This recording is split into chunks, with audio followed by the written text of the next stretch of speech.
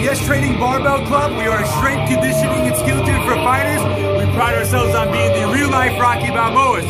This is a typical Tuesday night at the YESS Training Barbell Club. What we do, we always focus on skill first, then weights. So it's not gonna be so skillful if we're weak as hell. So we make sure when our guys come in here, they go with their skill work, they get their drills in, and then when they're done, they hit the weights and they finish themselves off that way. Program. You make do with what you got. Keep checking back. My name is Joe Rossi, this is the YESS Training Barbell Club, strength and conditioning gym for fighters. Thanks very much.